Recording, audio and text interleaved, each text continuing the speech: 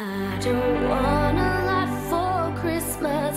There's just one thing I need. I don't care about the presents underneath the Christmas tree. I just want you for my